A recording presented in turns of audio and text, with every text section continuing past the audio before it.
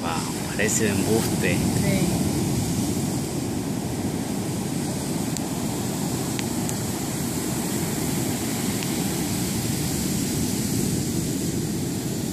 Parece que alguien lo está lavando.